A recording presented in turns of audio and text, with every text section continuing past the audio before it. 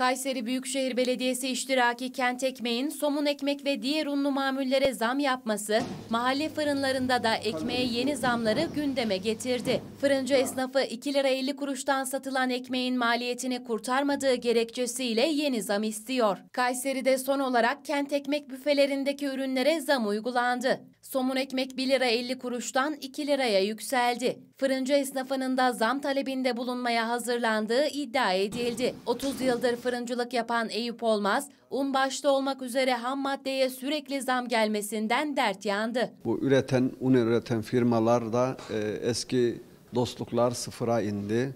Parayı göndermeyince un göndermiyorlar. Ondan sonra bayağı da zor durumlar yaşadık. Ama elhamdülillah inşallah geçecek bunlar. Bu bir sancıdır. Her daim her seferinde olmuştur. Ama e, şunu e, bilmek lazım, bildirmek lazım. Bizim Fırıncılar Başkanı Mustafa Bey'e de selamlarımı söylüyorum. Bu işlerle ilgilenirken e, biraz e, yaptırımcı olmaları lazım. Bizim e, Fırıncılar Camiası'nın dernek başkanlarında şeylerinde yaptırım şeysi yok. Efendim işte filan devlet filan fabrikaya destek veriyor, ofisten buğday veriyor. Orası un yapacak gidin oradan alın falan filan gibi şeyler. Bu şeyler de zaten öbür adam bizim gibi vatandaş gidemiyor da bilemiyor da. Gitse ekmeğe kalıyor, gitmese unu kalıyor.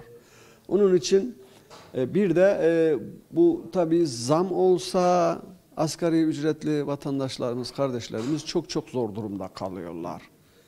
Onun için şu anki durum hani eskiden büyük karlara alışık olan fırıncı arkadaşlarımızın belki abesine gelebilir ama biz normale alışık olup tevekkül ettiğimizden bize normaldir. Elhamdülillah şu anki durum yeterlidir.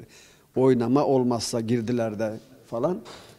Ama e, yineden de e, kalite düşebiliyor. Neden derseniz mesela e, bugün yemlik buğdaylarda belki de un için kullanabiliyorlar. Kullanmak zorunda da kalabilirler.